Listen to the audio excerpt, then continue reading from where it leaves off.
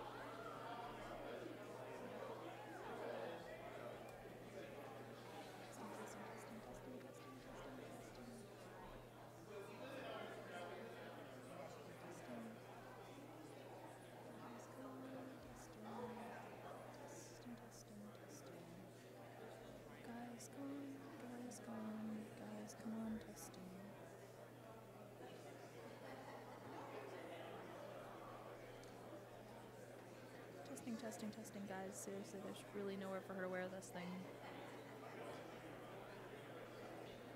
Testing, testing, testing, testing, testing. Testing, testing, testing, testing, testing. I have to stash it, I would stash it here, just because. Harder for you to see.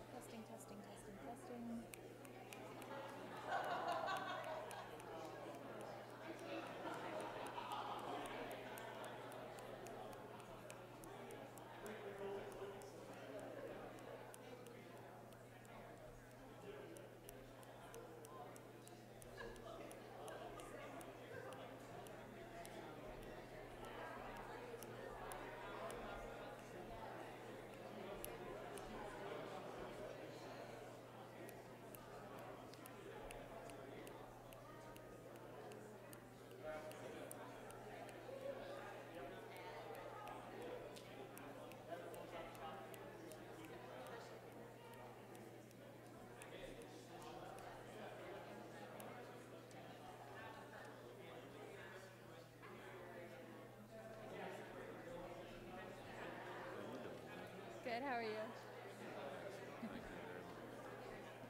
Sorry, they're testing this microphone. I have to keep hitting it. This, this we're good to go here. Yeah, I think so.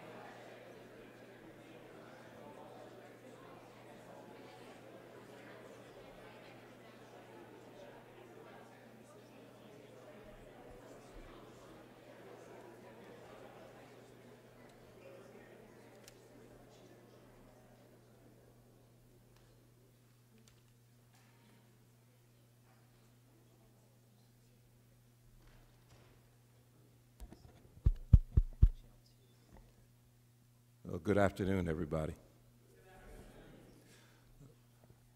Welcome to the Commission for Higher Education's 2016 State of Higher Education Address. My name is Dennis Bland, and I have the honor of serving as chairman of the Indiana Commission for Higher Education. One of the privileges in serving on the Commission for Higher Education is actually having the honor of serving with 12 other Hoosiers who are just some of the most outstanding people that you would ever want to meet, and I, I mean that from the bottom of my heart. So if we could give a round of applause for all the commission members.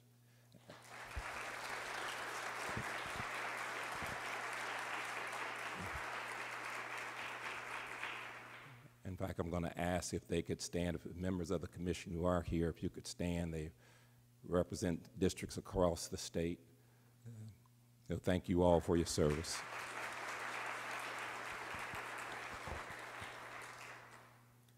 As chair, one of the honors, one of the greatest honors I have is really having the opportunity to serve with Teresa Lubbers, uh, our commissioner who leads higher education efforts in the state of Indiana. And I have the opportunity to introduce her in a few moments, but, but a few acknowledgments before I do that. I would like to first appreciate and, and give thanks to the Indiana House of Representatives for allowing us to use this facility.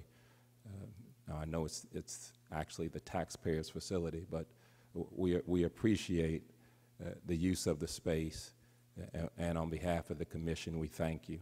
We would also like to express appreciation on behalf of the commission for uh, Ball State University. Uh, Ball State is actually serving as the official host, the higher education host for today's event, and they will also be providing refreshments at a reception that will take place at the end of the commissioner's address.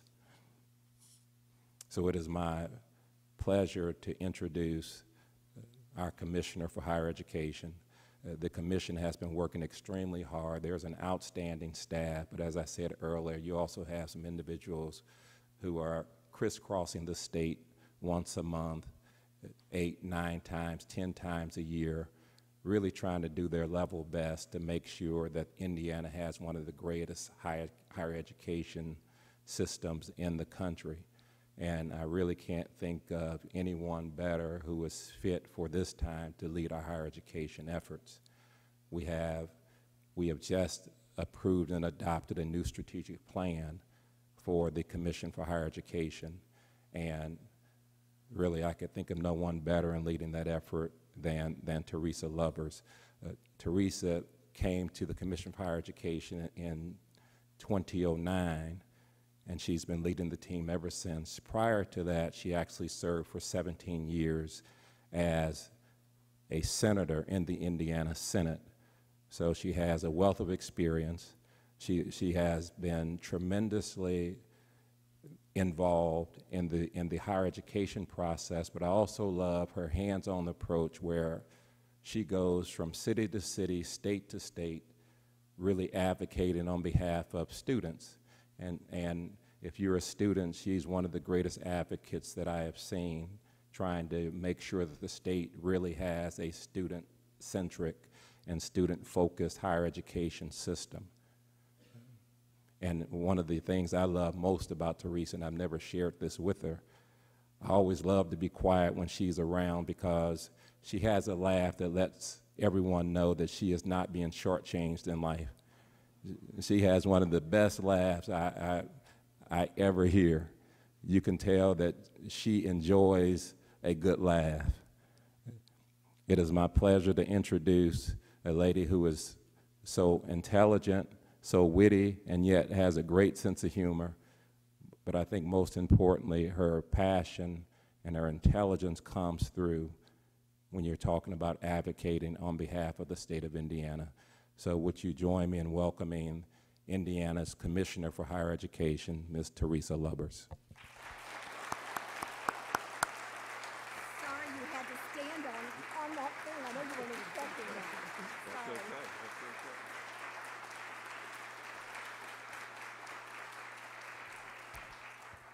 I don't think the chairman was expecting to have to stand on this little stool back here, but I needed it. Um, Thank you, Dennis, um, for your introduction, your kind words, but much more importantly, for your service to the Commission for Higher Education, uh, both as a valued member and as our chair as well.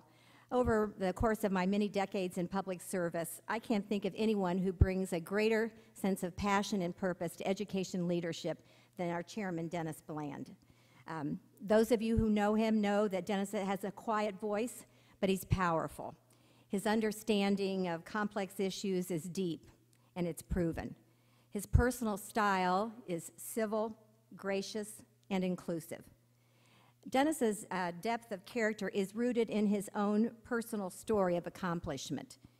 His parents were born in Mississippi, and both were precluded the opportunities that were provided to Dennis and his siblings to be able to get an education. He was one of eight children, and after his mother died when he was only five years old, his father raised the family on his own. It's safe to say that the term first generation college student means a lot to Dennis because his generation was the first in his family given the option to pursue high school or college.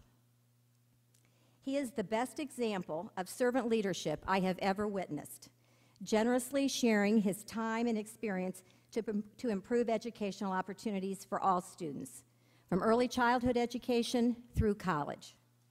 He brings a deep commitment to closing the achievement gap to his role as the president of the Center for Leadership Development.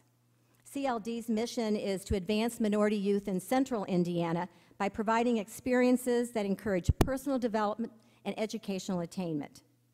We are fortunate today to have several members from CLD staff and members of Dennis's family here with us today, including Willie Bland, his father. Will you please all stand and be recognized?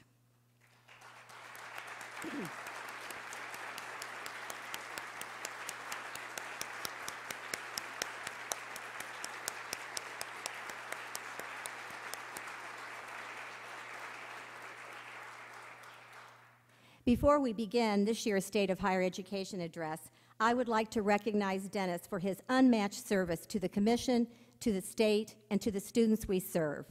It's my privilege on behalf of Governor Mike Pence to present our Commission Chair, Dennis Bland, with Indiana's prestigious Sagamore of the Wabash Award for his trailblazing service to the state of Indiana.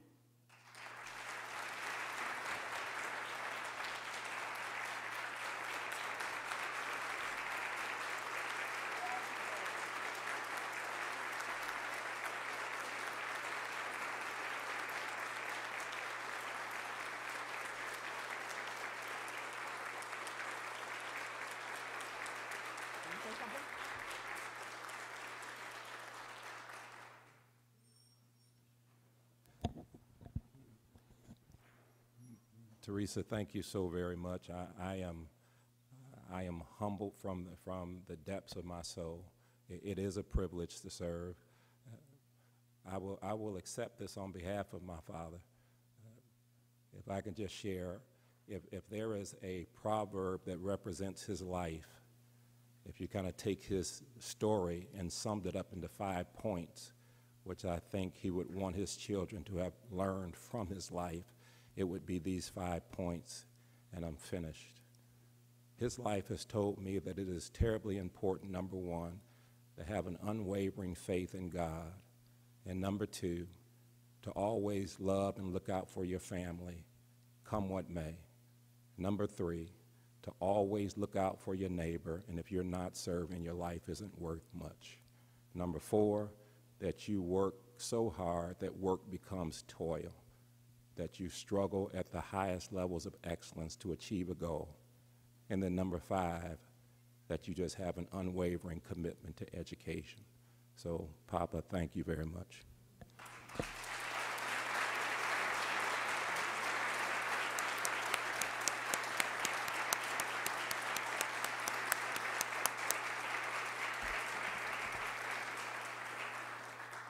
Thank you, Dennis. On behalf of the Commission for Higher Education, I welcome each of you here today who's engaged in this important work with us education leaders, policymakers, community advocates, employers, and of course, students. Reflecting on the past three higher education addresses, I'm encouraged by the work that is underway and the progress that has been made. I said this in 2014, and it remains true today. The state of higher education in Indiana is strong and getting stronger, transformed but in need of more innovation, and valued but in need of better ways to increase and show that value.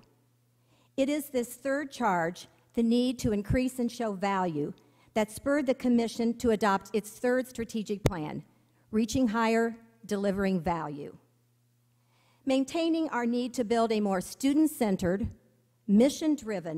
mission driven, workforce aligned system of higher education, the new plan remains focused on our big goal that 60% of Hoosiers would hold quality degrees and credentials beyond high school by 2025. We've developed this plan with input from higher education leaders, business leaders, and policymakers, understanding that each, each group will play a critical role in reaching that 60% goal. The era of the last strategic plan, Reaching Higher, Achieving More, was one of significant progress in Indiana. Perhaps most lauded among the accomplishments would be our focus on aligning state funding to our goals for higher education. Indiana's pay for performance policies have been recognized as among the best in the nation.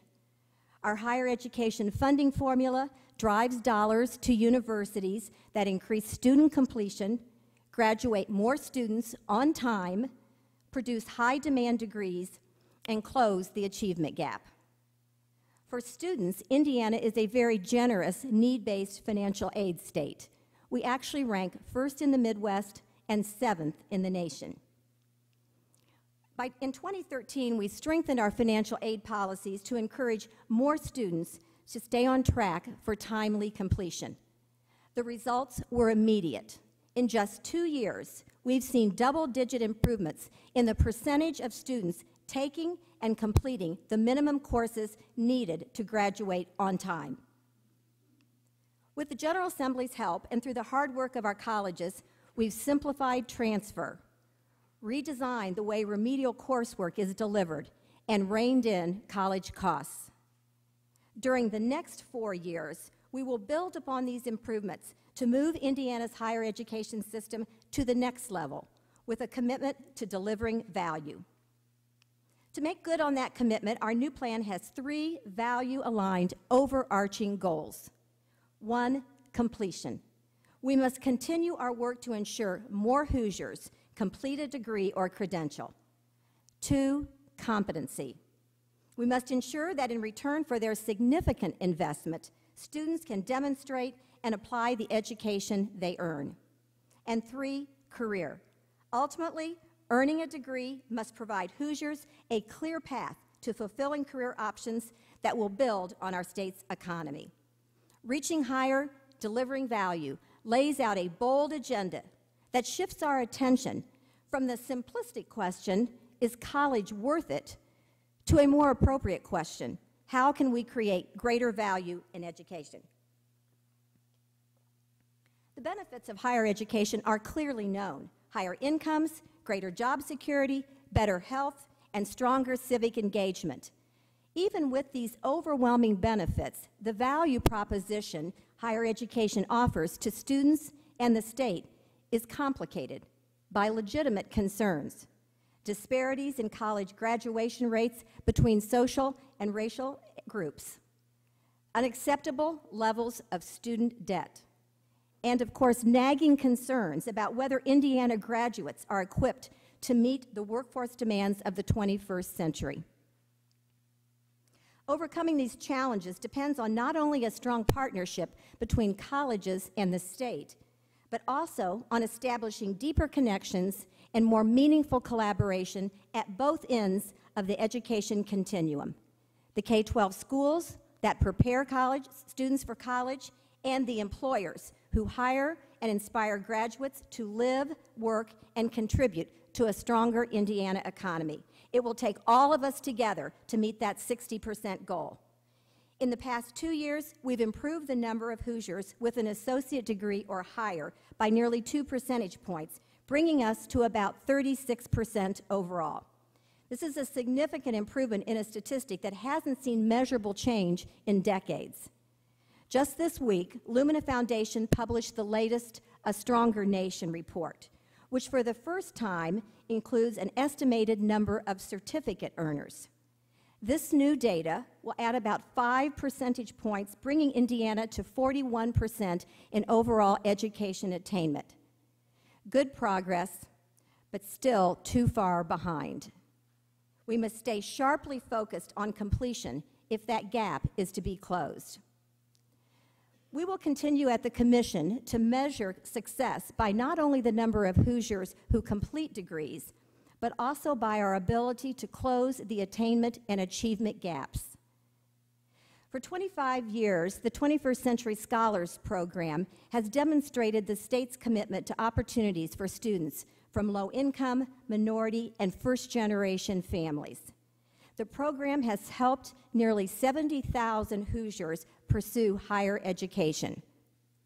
21st century scholars now enroll in college at higher rates than any income level, but still too few are graduating. In recent years, Indiana has taken steps to make sure that scholars are more successful by coupling financial aid with clear expectations and interventions designed to help these students be prepared for the rigors of college. To receive their scholarships, today's 21st century scholars are required to meet higher expectations and complete specific activities while they're in high school, such as meeting a 2.5 grade point average and participating in at least one work-based activity. Together with our legislative partners, the Commission will work to ensure requirements and expectations for scholars at the college level, too by providing more structured support to help them complete their degrees, simplifying the choices, streamlining processes, and targeting support to students when they need it.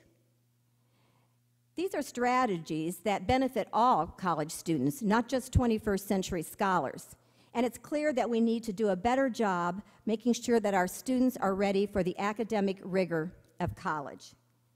The Commission's college readiness reports make clear the need to improve preparation at the K 12 level.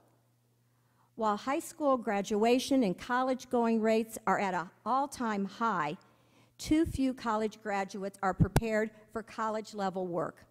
And this is particularly true in mathematics. We know that students need to take and complete four years of math to be ready for college level work. Unfortunately, this is often not conveyed to parents or to students that it's a priority for college readiness. More than a quarter of our Core 40 diploma recipients from high school require remedial coursework when they enter college. For those who receive the general diploma in high school, nearly two thirds require remediation in college. And most students who need remediation need it in math. These students are far less likely to complete a degree or workforce credential, and they have fewer prospects for successful employment or successful lives. Challenges of college readiness extend beyond academic preparation. Many students lack college planning support. They try to navigate and they struggle to navigate the systems of testing, financial aid, and admissions processes. They often make ill advised decisions about where and what to study and how to pay for it. Indiana has made great strides in providing financial support and planning guidance to low income Hoosiers through the 21st Century Scholars Program. In the years ahead, we must work to better support our state's middle income families too, who receive little, if any, assistance to pay for college. Many of these families rely on student loans, and today, the average, the average Indiana student racks up about $30,000 in debt.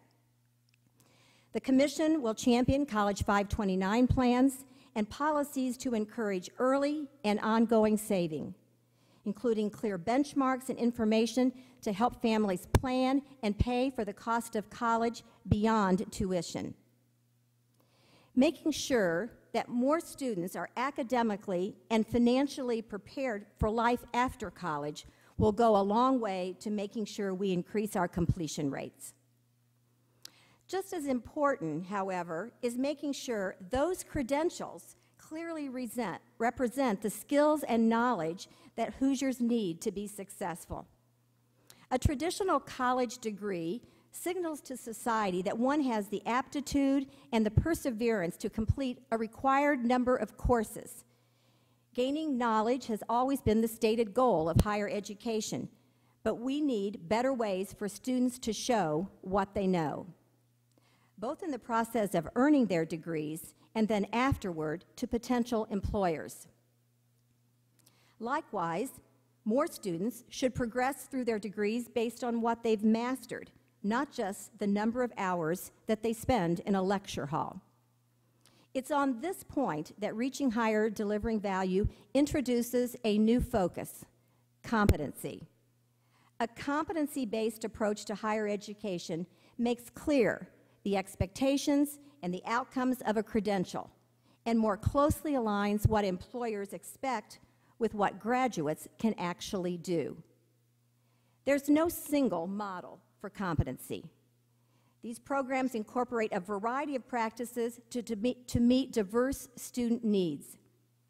For adult students, self-paced programs that utilize online instruction let students progress based on what they learn and provide cost savings opportunities and important flexibility.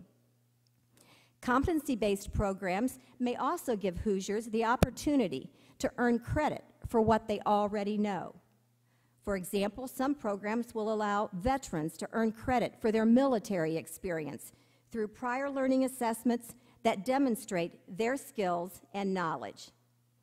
Even for traditional college students who come straight from high school, a focus on competency boosts college value by giving students clearly defined and demonstrated skills that they can take with them into the working world. Truly supporting more innovative practices like these will require Indiana to rethink aspects of our state's higher education system. In the years ahead, the Commission will work to ensure that our performance funding, our financial aid, and other policies are not barriers to competency options. This new focus on competency has the potential to enhance higher education value by conveying student learning, providing accelerated options for students, and giving employers some quality assurance that graduates are coming to them prepared to do the work. To an ever greater extent, employers are becoming key stakeholders in our work, to improve higher education quality, completion, and value.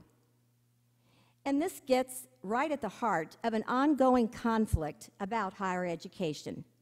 Whether the goal is to teach students to think or to prepare them to get a job. The real answer, of course, is it cannot be an either or proposition. Higher education must do both, and employers understand that implicitly. They need academically prepared and technically skilled employees. But often, what is more difficult to find would be employees who think critically, communicate well, and adapt to change. A focus on competency helps address this critical balance, as does our recent state's focus on increasing work-based experience for more students. For too long, there's been a tendency to think about college and career as if they were sequential. First you go to college, then you get a job. But the reality is that it's, that's very confusing to people. And what we've discovered is, and it's not a surprise, that about half of all college students in this country say they would choose a different major or school if they could do it over again. We know the value of a degree is greatly increased when career planning and exploration are integrated throughout the student's educational journeys. That's why Indiana requires 21st century scholars to actually participate in career exploration while they're in high school. It's also why Indiana created the state's work study program, Earn Indiana. It, it, it's basically been expanded to allow students to have internship opportunities for low income college students and gain experience at the same time and these efforts are having an impact. For example, the number of students participating in Earn Indiana internships has increased by 25%, and the number of employers hosting internships has increased by 350% in two years. When it comes to providing these kinds of career experiences, businesses and communities are ideally situated to take the lead and forge partnerships that not only prepare students for success, but build a future workforce to support local economies. Take the example of DECO, a manufacturing company based in Northeast Indiana.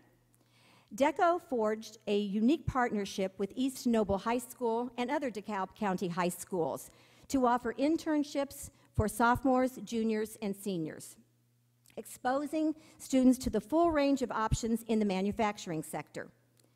DECO views its partnership with area schools as an investment in the company's future. Teresa Peterson, DECO's Director of Human Resources, said it perfectly. We can't afford to wait around for great employees to come to us. We invest time and resources into building our own pool of employees.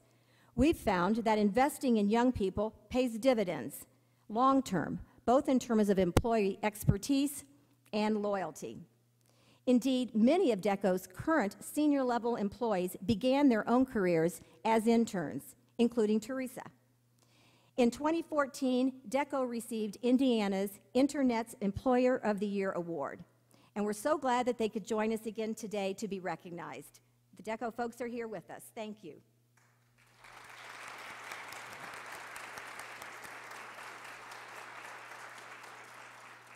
Indiana needs more businesses to follow DECO's example and provide internships for students in high school and in college. We know that internships are the number one college experience that leads to a job and one of the best and most effective ways to reduce Indiana's brain drain. Yet too few college programs include an internship as part of earning a degree. This doesn't mean that colleges should convert their campuses to technical schools. But it does mean colleges should be expected to find ways to enrich academic programs with real life, relevant experience. This, too, is an issue of enhancing value for students because it helps them make the connection between what they're learning in college and the world they will enter post graduation. Together, these three sections of Indiana's new strategic plan completion, competency, career chart the course for the Commission's work between now and 2020. As we consider the higher education landscape in 2016, it's clear that Indiana's college campuses and student populations are quickly changing.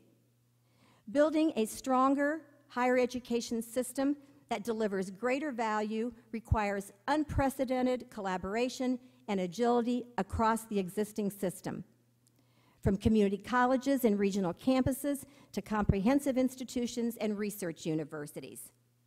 It also requires meeting, meeting the needs of a very different student population.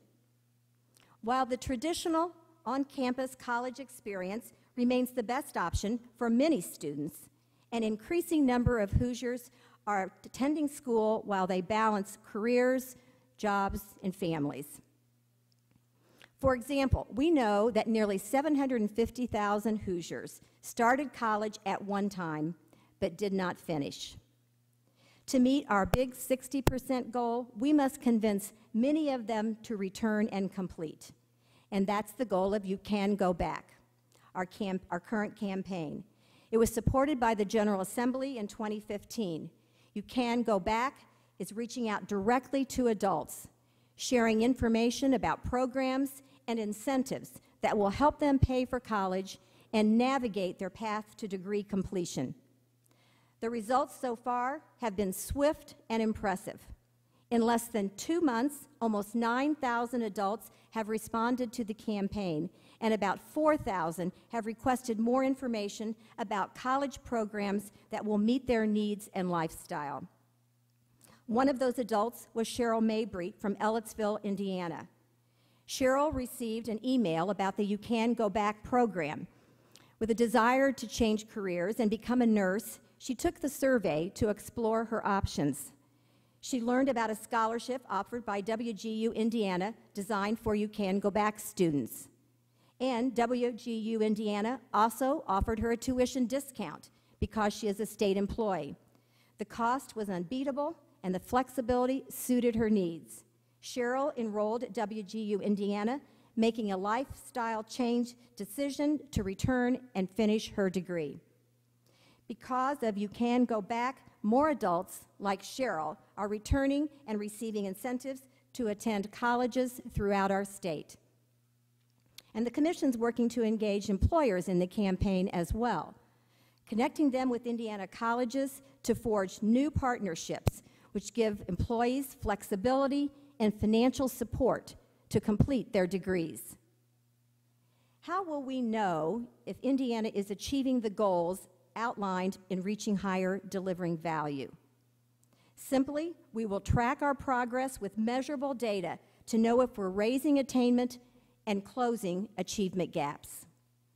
We will continue to publish college readiness, college completion, and return on investment reports. And in the very near future, Indiana will have the ability to include college graduate satisfaction for the first time. The results of the first Gallup Indiana survey are still being reviewed and compiled, but we have a few early findings to share with you today about participating public schools. Based on about 8,000 alumni responses, 83% agree or strongly agree that higher education was worth the cost. They report higher levels of well being and work fulfillment compared to college graduates nationally. The results also underscore the need for these improvements to be made in all three sections of our strategic plan. For example, less than half of graduates who responded indicated that they received support outside of the classroom to help complete their degrees. Just one in three graduates strongly agree they were well prepared for life after college, a key goal of competency. Too few, about one third, say they had help from their university in finding an internship or job during college. And only 13% got help from their university finding a job after graduation. The Commission will release full statewide results for the first Gallup Indiana survey early this summer. These results are just one piece of a more comprehensive measure we will unveil in partnership with USA funds later this year. Building on our readiness, completion, and return on investment data, the Commission is developing a first in the nation measure of college value called the Indiana College Value Index. The new measure for Indiana's colleges and universities will leverage the best quantitative and qualitative data available. The index will help Hoosiers answer the most fundamental questions about higher education. Will I graduate? Will I learn what I need to know? And will I find meaningful employment? Ensuring that every student can answer those questions with a resounding yes is the goal of reaching higher, delivering value. In the last decade, we've seen Hoosiers with education beyond high school improve their economic standing, while those with less education have experienced stagnant earnings and reduced job security. Now, more than ever, the question is not whether Hoosiers need higher education, but rather how can Indiana deliver greater value for students and the state? It means helping more students graduate, making sure students learn what they need to know and can enter a fulfilling career. Everyone has a role to play in helping Indiana achieve these goals. State policymakers must continue to support performance-based college funding and student financial aid policies that encourage completion. Colleges must continue to improve and increase practices that keep students on track to graduate. They must provide high quality programs that equip students with the knowledge they need to succeed and find ways to give all students career experiences. More employers must be involved, collaborating with K 12 and colleges to provide more information, more internships, and to help Indiana build a strong workforce and economy. And of course, students themselves play a critical role in maximizing the value of their education. Even the most student-centered, responsive higher education system requires individuals with sound judgment, a strong work ethic, and a genuine interest in learning. As a state, it's our job to set high expectations, but students must take full advantage of those opportunities to meet those expectations. The curiosity to seek out new knowledge, the ability to apply what you learn, the resiliency to adapt to changing circumstances. These are the skills that, that college graduates need, that employers expect, and a 21st century world demands. Simply stated, but far more difficult to achieve. It will be challenging for certain, but these challenges are nothing compared to the consequences if we fail to our state or to our families. Indiana's higher education system can lead the nation in delivering exceptional value. We have the right plan. We have the right partners.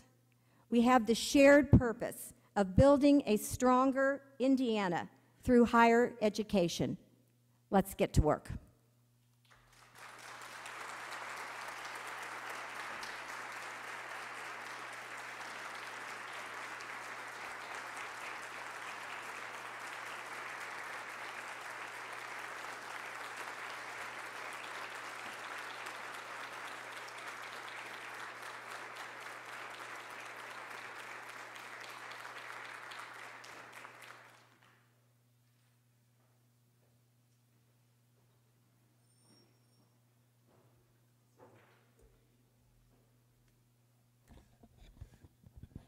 Thank you very much, Commissioner Lubbers, for your thought-provoking and exciting presentation. Thank you very much. We're ready to roll up our sleeves and get to work.